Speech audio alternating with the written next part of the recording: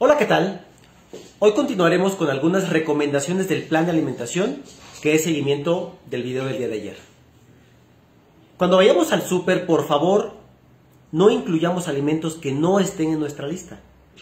Siempre pensamos en llevar algo extra por el antojo o por si se ofrece. El problema es que casi siempre se antoja y casi siempre se ofrece. Así que terminamos saboteando nuestro propio plan de alimentación. También a veces justificamos que compramos frituras o jugos, ya que es para los niños.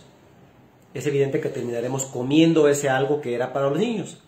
De cualquier manera, tampoco es un buen alimento que debemos de llevar a nuestros hijos. Así que mejor evitemos llevar los antojos para evitar el autosabotaje y para prevenir que también los niños coman alimentos no saludables.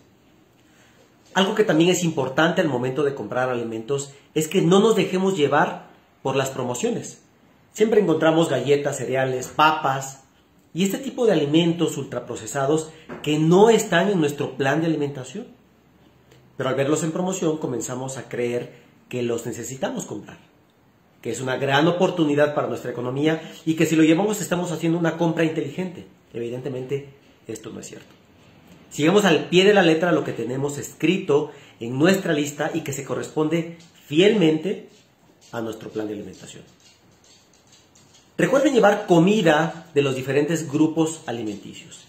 Elegir una proteína como carne, que pueden ser rojas, pero cuidando que sean magras, como el lomo, la pierna, la bola, aunque hay que preferir proteínas en forma de carnes blancas, como el pollo y los diferentes tipos de pescado. Elegir grasas saludables, por ejemplo, como regla muy general, todas las grasas líquidas a temperatura ambiente son una buena opción, a excepción del aguacate y las semillas como los cacahuates, las almendras y las nueces, que son sólidas y que también sabemos que son grasas de muy buena calidad. Las grasas sólidas, como la mantequilla, la manteca, el aceite de coco, el queso doble crema, son grasas saturadas y que no son saludables y hay que evitar. Mañana continuaré hablando de algunas generalidades de los carbohidratos que son un grupo alimenticio muy importante y muy frecuente su consumo entre los seres humanos.